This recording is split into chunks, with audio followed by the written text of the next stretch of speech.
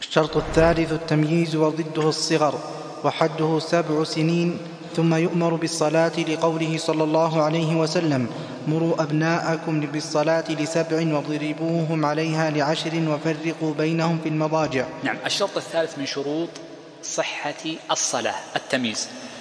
وأما إذا أردنا أن نقول شروط وجوب الصلاة فإننا نقول البلوغ لأن البلوغ هو التكليف هو شرط التكليف. فالمصنف هنا يذكر شروط الصحة لا شروط الوجوب. التمييز عند فقهائنا لهم اتجاهان. منهم من يحدد التمييز بالسن كما مشى عليه المصنف وغيره أنها سبع سنين. والطريقة الثانية وهي التي ارتضاها المحققون كالعلاء المرداوي وغيره أن المراد بالتمييز إنما هو باختلاف الأشخاص. فكل من ميز ما يحتاج للتمييز فهو مميز فيه. فمن ميز أفعال الصلاة وعرف كيف يفرق بين الصلاة وغيرها فإنه يكون مميزا.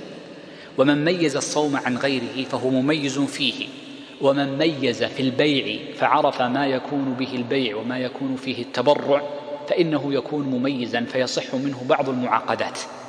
إذا التمييز على الطريقة الثانية اختيار القاضي علاء الدين المرداوي أنها ليست محددة بالسن. ولكن كثير من الفقهاء المتأخرين خصوصا يقيدونه بالسبع من باب الأغلب إذ غالب التمييز يكون عند سبع. ولأن كثيرا من الأحكام متعلقة بابن السبع كالعورة وغيرها لأنهم يقولون إن من كان دون سبع ذكرا كان أو أنثى فلا عورة له. فلا يلزم ستره وإن من باب الأدب ويجوز النظر لعورته ويجوز لمسها لحاجة كتوضئته وتنظيفه ونحو ذلك. المقصود من هذا أن ابن السبع هو الذي تصح صلاته.